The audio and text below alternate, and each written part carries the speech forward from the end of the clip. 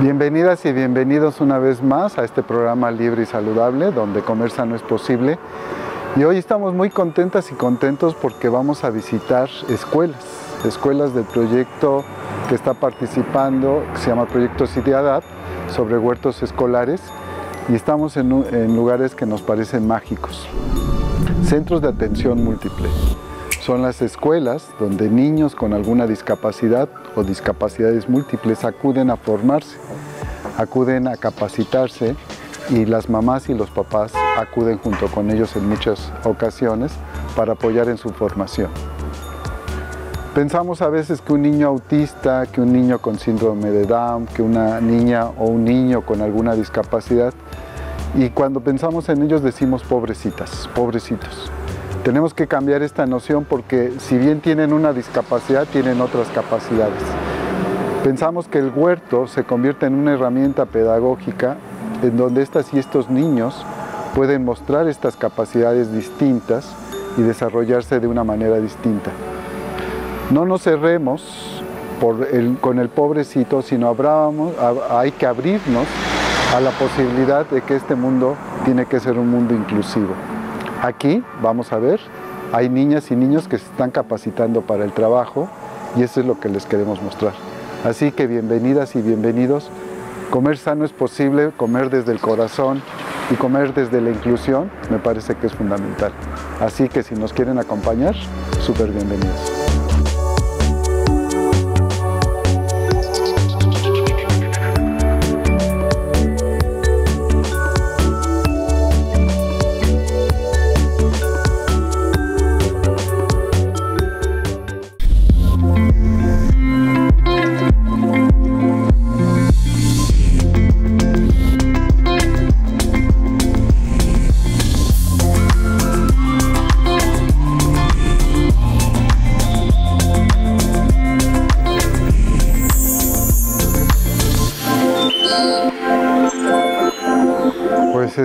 Aquí entrando al Centro de Atención Múltiple, el CAMP 60, y pues les queremos compartir estas historias en donde lo que se está intentando es hacer una acción comunitaria. Eh, la Organización de las Naciones Unidas tiene un programa que se llama el Programa de las Naciones Unidas para el Medio Ambiente y este programa de las Naciones Unidas generó un proyecto que se llama CIDE Adapt. Este proyecto de CIDEADAPT está tratando de diseñar estrategias para la adaptación al cambio climático basadas en la naturaleza. Una de estas estrategias es establecer huertos escolares porque pensamos que si las comunidades que acuden a estas escuelas, los maestros, las autoridades, las niñas y los niños y los padres de familia, eh, a través del huerto pueden percibir la necesidad que tiene diseñar estrategias para adaptación al cambio climático, podemos generar este cambio desde las infancias. Este proyecto está trabajando con 10 escuelas, cuatro de ellas son centros de atención múltiple y nos, da, nos ha dado grandes oportunidades para percibir los procesos pedagógicos del huerto desde otra noción. Muchas veces nosotros pensamos en los huertos escolares como una oportunidad para que las niñas y los niños que trabajan tengan la posibilidad de reflexionar y actuar sobre la gran, la gran necesidad que tiene nuestro planeta de diseñar estas estrategias. Pero cuando acudimos a los centros de atención múltiple donde encontramos eh, discapacidades diversas, entendemos que también hay otras capacidades. Y estas capacidades son las que les queremos compartir en este programa y las que pues vamos a, estar visitando.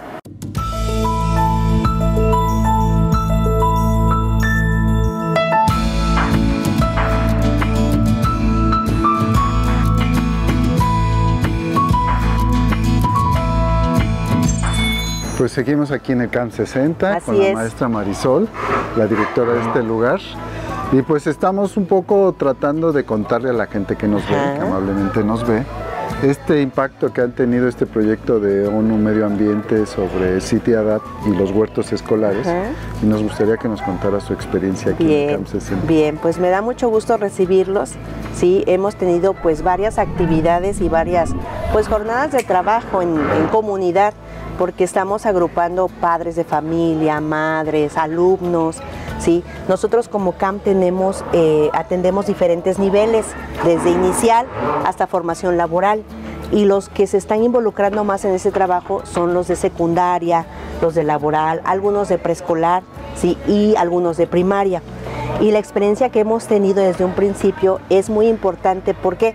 Porque hemos aprendido a valorar la tierra y a valorar lo que nos da la tierra. Porque a veces no, como, como personas y como ciudadanos, pues no le damos ese valor, esa, esa importancia, ¿no?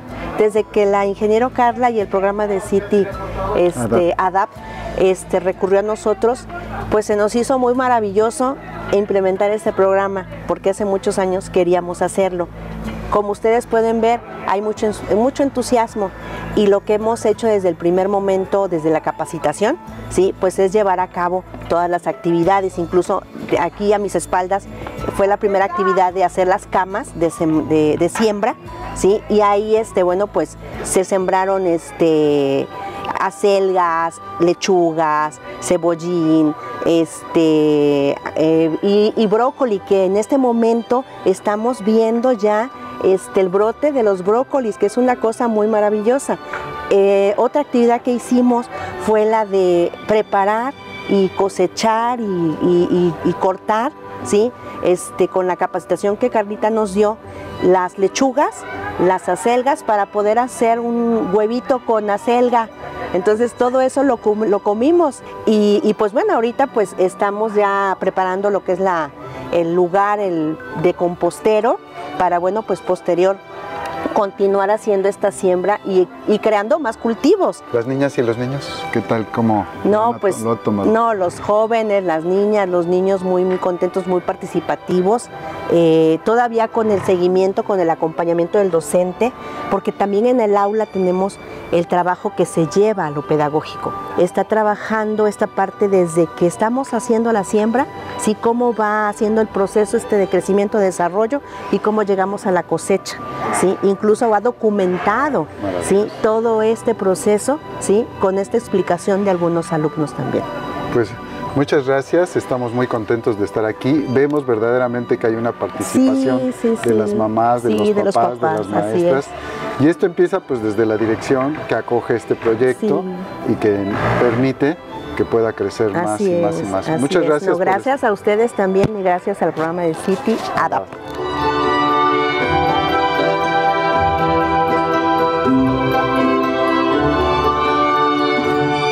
Uno de los objetivos de este proyecto es tratar de crear una comunidad en donde los padres y madres se puedan incluir, en donde participen de manera activa. Pensamos, y es parte de los objetivos de este proyecto, eh, que si la comunidad toda se integra, podemos entonces entrar en una serie de conexiones y de vínculos muy importantes. En este caso, los padres y madres de familia juegan un rol importante porque el complemento que puede darse en la casa a partir de las actividades que tenemos en el huerto, en el centro educativo, se dan como un continuo entre la casa y la escuela. Los padres y madres de familia entonces juegan un papel muy importante. Entrevistarles hoy nos darán la oportunidad de conocer sus sentimientos, cuál ha sido su papel y cómo están trabajando.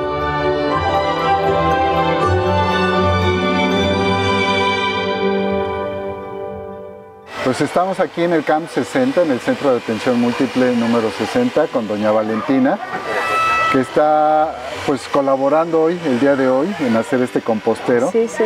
Y pues nos la agarramos un ratito y nos viene a contar su experiencia. Sí, claro. ¿Qué le ha parecido este tema de que haya un huerto escolar en el CAMP 60? Mire, aquí antes que nada les doy las gracias parte de la escuela porque es muy, eso, este, muy importante para nuestros niños porque pues este, ellos para que se desarrollen más y también para nosotros mismos porque pues vamos aprendiendo a cosechar, a, este, a sembrar, porque de hecho ya no sabía cómo se hacía la composta, pero como ustedes nos vinieron a enseñar, pues ya aprendimos y eso lo podemos hacer en nuestras casas y nos, este, nos ayuda también este, a cuidar un poco de nuestro dinero y ellos, para ellos se desarrolla más porque aprenden, no se sienten limitados y nada. Entonces, eh, un centro de atención múltiple es una escuela donde vienen niños con alguna discapacidad. Por ejemplo, me decía que su hijo tiene autismo. Sí, tiene autismo. Pero esto entonces le ayuda a que tenga otras capacidades. Exactamente, a que se desarrolle, aprenda y tenga conciencia de, porque hay tanta contaminación y aprovechar todo, o sea, el plástico, porque nos vienen a dar la clase ustedes mismos, de cómo podemos aprovechar todo, ¿no? Incluso este, las frutas, este, las verduras, que para no tirarlo a la basura podemos este, ocuparlo para las plantas y es una enseñanza para nosotros eso. y pues para nuestros niños porque participan todos. Muchas gracias. Este proyecto de ONU Medio Ambiente que se llama CIDEADAD es un proyecto que se hizo eh, pues con un gran equipo. Hubo un equipo coordinador en donde había dos biólogas, una pedagoga y una diseñadora y un grupo que le llamamos acompañantes técnicos. Entonces estoy con Carla Jerezano Díaz, que es parte de este equipo de acompañantes técnicos y quiero que nos cuentes tu experiencia. Primero, cuéntanos qué están haciendo ahorita los papás, las mamás, en qué consiste esta jornada. Vale, pues hoy lo que estamos haciendo es una jornada comunitaria en donde invitamos a todas las personas que participan en la escuela, padres de familia, alumnos, maestras, maestros, y lo que estamos haciendo hoy es construyendo el compostero para reciclar todos los residuos orgánicos de la escuela. Eh, va a haber un compostero comunitario, eh, cuando hicimos el diseño del huerto se planeó en este, que este compostero podría ser eh, útil para esta escuela y entonces hoy estamos llevando a cabo esa faena. Perfecto. Para ti que ha sido, por ejemplo, estamos en un CAMP 60, un centro de atención múltiple, que ha sido trabajar desde tu parte de ingeniera agrónomo eh, en este proyecto, ¿qué te ha dejado? Pues he aprendido bastante sobre eh, cómo adaptar los procesos del huerto a, cada uno de los espacios, a diagnosticar sobre todo los espacios, eh, qué áreas funcionan mejor y eh, las estrategias que hay que, que hay que conocer para poder llevar todas las partes del huerto al huerto, ¿no? en diferentes espacios. Por ejemplo, en esta escuela hablamos, ah, trabajamos mucho con suelo, el suelo aquí es muy arenoso, es como al, parecer fácil de trabajar, pero había muchas piedras abajo, entonces como que eh, esas, cosas, esas cosas que hay que cuidar y, por ejemplo, este es un centro de atención múltiple en donde hay niños con capacidades diferentes y eh, pues las cosas que hay que hacer en este huerto tienen que ser pensadas en ellos. Un mensaje que quieras mandarle a, los jóvenes, a los jóvenes que están estudiando, que a veces piensan que no hay oportunidades, que no hay esperanza. Cuéntanos tu experiencia. Pues como que eh, siempre hacer las cosas con mucha pasión y con mucho cariño y compartir.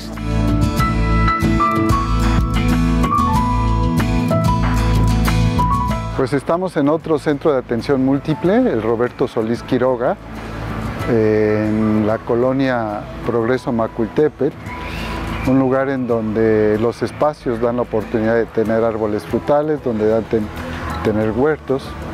Aquí se establecieron varios huertos y algo que podemos apreciar, y me voy a pasar de este lado, es cómo las maestras están usando este espacio como un espacio didáctico.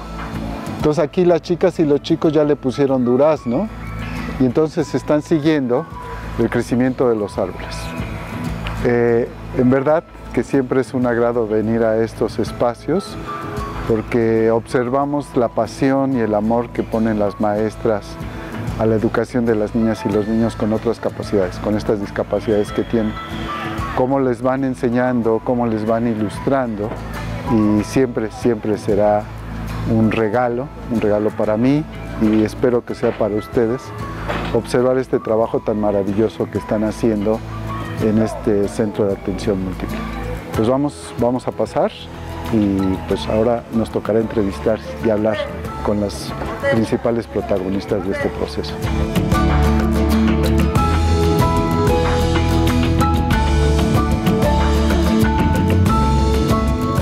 Pues estamos aquí con la maestra Ana, este, la directora de este camp. Muchas gracias por recibirnos, este, por abrirnos este espacio y por la oportunidad de contarle a la gente cuál ha sido la experiencia de estar en este proyecto de los huertos escolares, qué les ha dejado, si nos puede contar.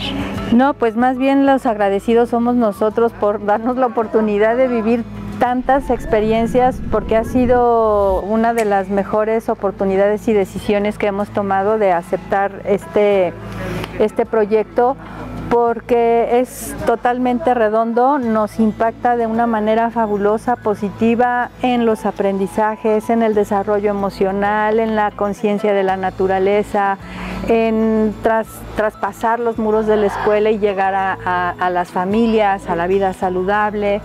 Hemos podido aprovechar esto em, para, incluso para estimulación sensoriomotriz, ¿no? Los chiquitos desde, desde estar mm, eh, manejando la tierra, separando las hojas, el disfrute, el gozo que se les ve, la regulación emocional que hemos encontrado incluso en algunos muchachos, también eh, el, que, se, se ven verdaderamente involucrados y que participan activamente cuando en otras circunstancias o en otras situaciones como que ellos mismos se aíslan, aquí no, aquí todo el mundo muestra este interés.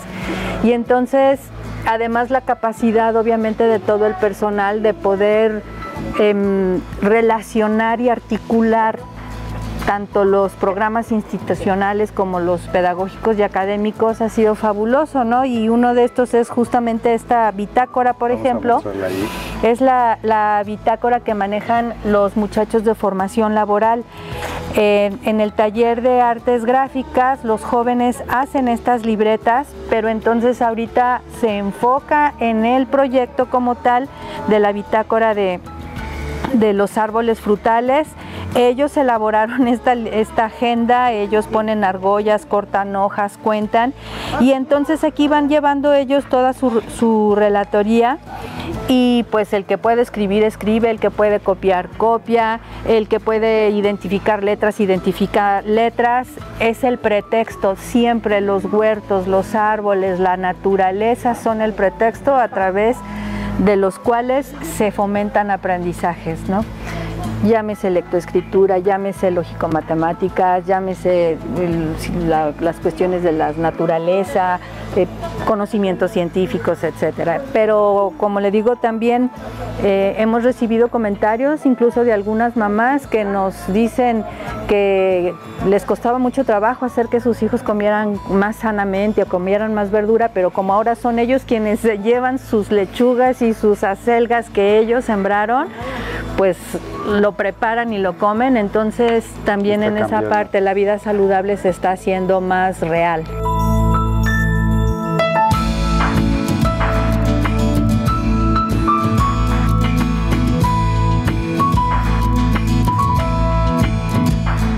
Muchas gracias. ¿Qué ha sido el proyecto de, este, de tener un huerto en la escuela y qué les ha ayudado?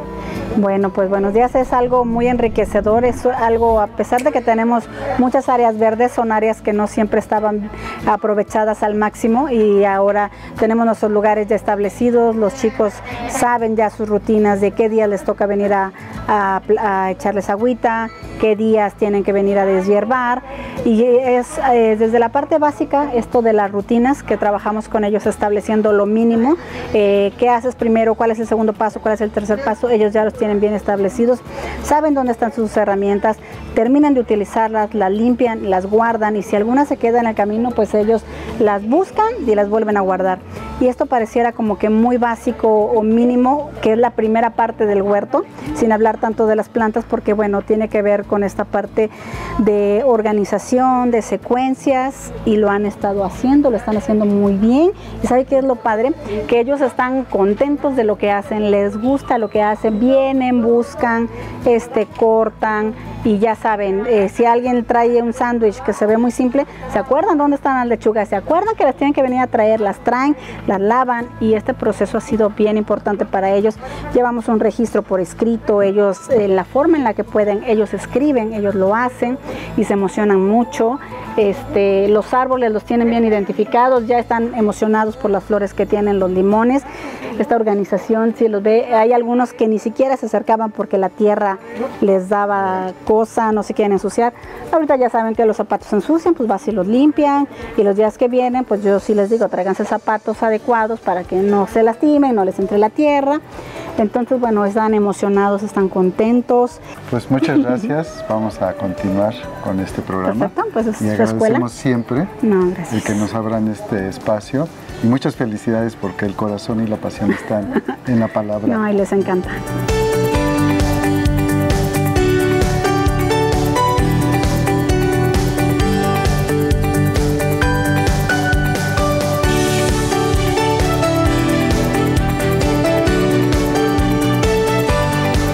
Estamos aquí con la maestra Elisa, quien asiste en la dirección, quien es asistente de la dirección. Así es. Y pues estamos muy agradecidos en principio porque cuando planteamos estos proyectos, el que llegue a la dirección y que la dirección esté de acuerdo nos parece que es importante. ¿Cómo han acogido este proyecto? Bueno, este proyecto al CAM llegó como anillo al dedo, digamos. Es, es un momento muy especial porque los maestros lo han acogido muy bien. Hoy día ellos hacen el proyecto con respecto al huerto, porque están trabajando por proyectos. Entonces está dentro de su planeación, tienen horarios de atención al huerto, sobre todo los grupos cercanos a los que al- a donde está ubicado están muy compenetrados. Vienen padres de familia los viernes, al, al momento que ellos vienen a trabajar acá, ellos están desarrollando ciertos propósitos, habilidades de los niños, la comunicación, el que los niños vayan viendo el crecimiento. Han, este, han cosechado de la lechuga, han preparado sus ensaladas, o sea, eso, es, eso está dentro de un propósito que el maestro ya estableció en el aula. Muchas gracias por recibirnos. No, muchas gracias Y, pues, a ustedes. Vamos a, a- Claro. a ver, si me permite, vamos a- Claro, hacia claro. allá. Y estamos cuidando el, el cuidado del planeta. Las lechugas, los tomates, las zanahorias, las uvas. Nos cuidemos como el agua, no el refresco. Comen sano es posible.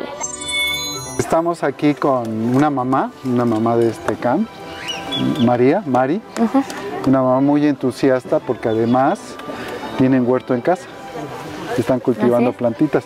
Cuéntanos, cuéntanos este, cómo ha sido tu experiencia como madre. Este, Ok, mi experiencia como madre, bueno, es enseñarle a mi hijo que, por decirle, el cultivo es bueno en casa, aparte de que, no, que lo que cultivamos nos proporciona buena salud, eh, entre, lo, entre ellos pues las frutas, las verduras, y enseñarle lo que es una buena alimentación a base de eso, ¿no? Yo apoyo aquí, a, bueno, a la maestra también en lo del huerto, venimos a limpiar para que obviamente las hortalizas vayan saliendo limpias por los niños, aparte para que no estén infectadas por bichos que obviamente luego pueden perjudicarlos a ellos, ¿no? Y los niños también hacen lo suyo viniendo a echarle agüita y todo eso. muchas gracias y muchas felicidades por involucrarte en la formación de tu niño, Claro niño que sí. Sí, niño. que está aquí en el camp. Así y es. que, este, y pues vamos a seguir visitándolos. Muchas gracias y felicidades por el trabajo tan bonito que estás haciendo. Ok, muchas gracias.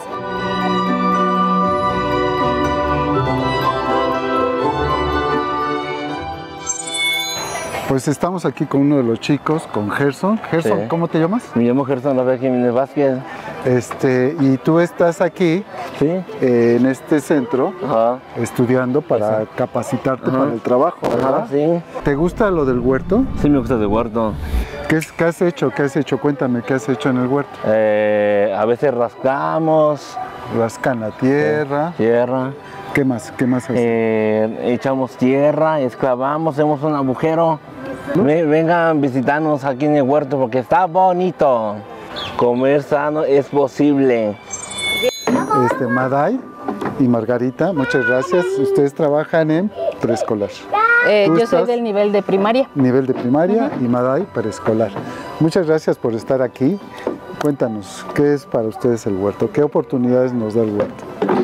Bueno, pues es una experiencia pues muy enriquecedora para los niños porque pues les permite desarrollar más sus habilidades y pues el hecho de ver cómo crecen ¿no? las plantas y después que podamos hacer la, la, cosecha, pues a los niños les, les gusta mucho, ¿no? Como ver todo ese proceso y los resultados. Pues sí, es una herramienta este, que contribuye pues a nuestros propósitos de, que tenemos, ¿no? De formación con los niños y, este, y pues a partir de esto pues se trabajan muchísimos más temas, ¿no? Ya podemos ver sobre alimentación saludable, pues el hecho, ¿no? De, de que vivencien, ¿no? De cómo trazar, cómo este, sembrar, ¿no? Cuando tienen que hacer los surcos o cuando tienen que hacer los hoyitos, Y vamos a despedirnos con una frase. Ustedes van a decir... Porque, comer, sano es posible.